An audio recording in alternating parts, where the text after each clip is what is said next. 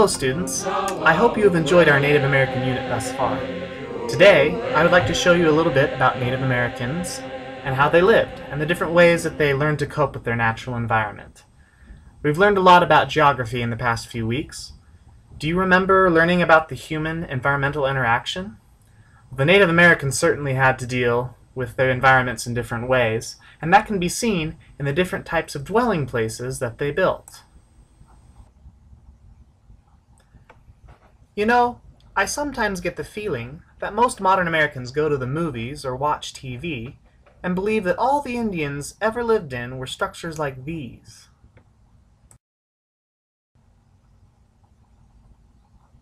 Can you tell what this is? That's right, it's a teepee.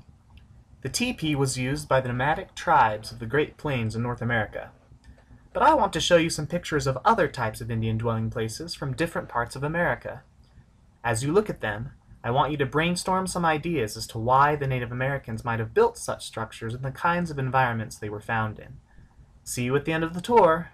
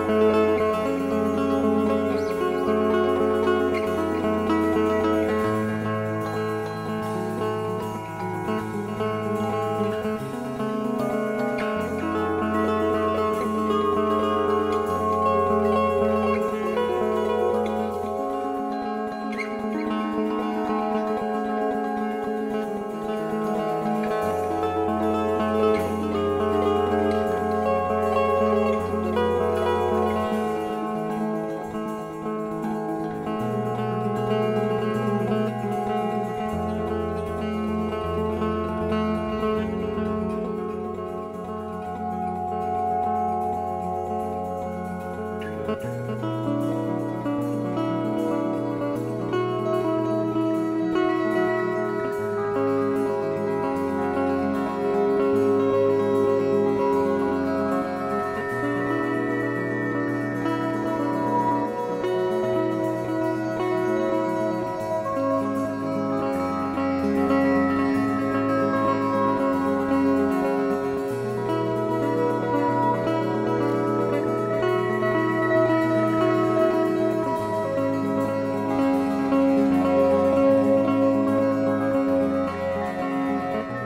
hope you noticed how very different the Native American dwelling places were from each other. Did you notice the kinds of materials that they were made out of? Did you happen to notice the uh, the climate that they were located in? Things like that. If you notice these things, I hope you're able to get a few ideas about how the Indians had to make choices about their homes based upon the interactions they had with the environments around them. Uh, now, the real Mr. Peterson will back the video up a bit and play the pictures again. And as it's playing, please write down some answers to the questions I just asked. Then we'll discuss them as a class, and then we'll discuss them in our individual work groups. Thanks a lot for watching.